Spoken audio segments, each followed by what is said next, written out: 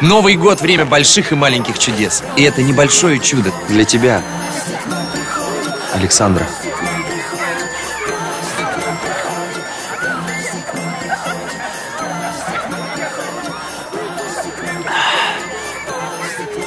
С Новым годом!